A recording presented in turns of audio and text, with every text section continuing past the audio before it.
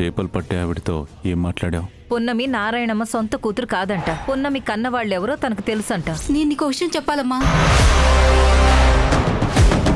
పున్నమికి తన గతం చెబుతున్న సూరమ్మను అగ్నిదేవ్ ఆపగలడా? చెప్పండమ్మా. అది ఆగో.